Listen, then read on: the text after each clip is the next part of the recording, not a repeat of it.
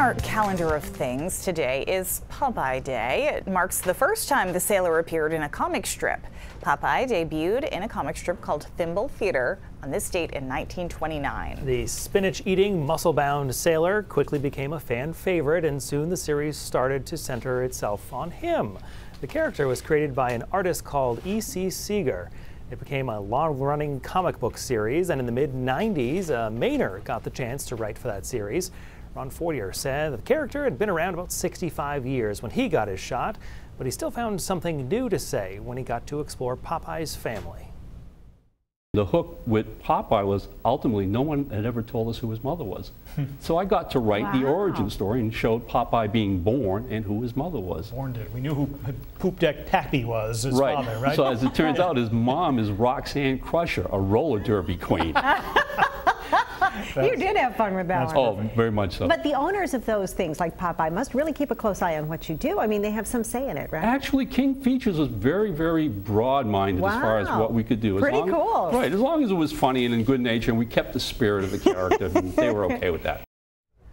Popeye wasn't just limited to the funny pages, of course. There were animated productions for both the big and the small screens, video games, radio plays, and of course, the Popeye movie. Yeah, in 1980, director Robert Altman helmed a production of the film with comedian Robin Williams playing the part of Popeye, Shelley Duvall as Olive Oyl, and Harry Nilsson doing the soundtrack. While the film did make its money back, it's largely considered a flop. In 2010, writer Mitch Zuckoff authored a biography of Robert Altman. He explained to Rob Caldwell how the film actually came together. You dare! Hey, your mother's here? So what? You bet on Pleased to meet you, man. Robin Williams' first major film role. He is Mork from Ork in most people's remembrance at that time. And you know, the studio wanted a Superman-like film. They wanted to say, okay, we've got a comic book hero. Let's make. It. But somehow they decided, let's have Robert Altman make it. So from the very beginning, it was never going to be that kind of popcorn, you know, money maker.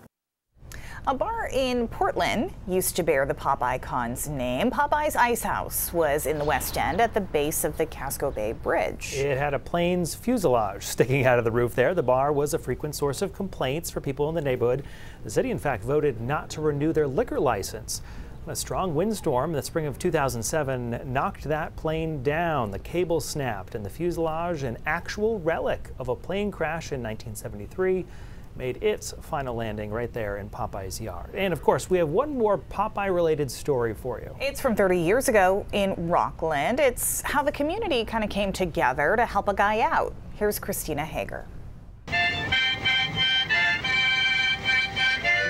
His real name is Morris Lindsay, but most people call him Popeye. Popeye. He's played the part of the spinach eating sailor at the Maine Lobster Festival in Rockland for 45 years, and you can see why. Lindsay is 63 years old and partially deaf. He's lived in this house all his life and always paid taxes. But this year, he lost track of his finances and didn't pay Uncle Sam. Basically, his friends say he didn't know he had to, so you can see why he was confused when he lost his house. The city took it for back taxes. So finally, friends and relatives helped him figure out his taxes and pay them. But now the city won't let him move into his home until it meets building codes. And that's how these 35 volunteers fit in. They've got less than a week to renovate this dilapidated house so Lindsay can have a home again. We put in all new plumbing, all new electrical, um, you know, they've even donated a complete new kitchen for him. Lindsay, who's lost his voice, has a hard time expressing his appreciation, but he knows he's in good hands. What do you think of all this? Right. Doing a lot of work. Yeah.